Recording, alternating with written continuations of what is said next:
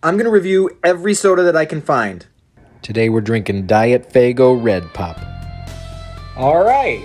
Finally, we got something interesting. We're moving out of the mainstream and we're going down a side river. The metaphor almost fell apart right in the middle of it. All right, so as you may recall, Red Pop is one of my favorite summertime sodas. So let's give the diet version a shot, even though it's already the end of November. There's no rules against strawberry soda in the fall or autumn.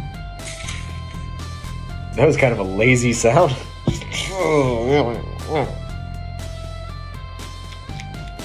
Oh, this is interesting. All right, so there's definitely no competition for regular Red Pop. There's a distinct drop in the taste. In and of itself, it's really not that bad unless you know what full potential it truly has. I'm sure it's not the intention, but to me, this tastes like liquid red vines. I'm a Twizzlers guy, so red vines were never my thing. It's sweetened with aspartame, which I now realize I should have been doing for every soda this month. Why would I not mention the sweetener used? Because I'm a fucking idiot. Diet Faygo Red Pop, 7 out of 10.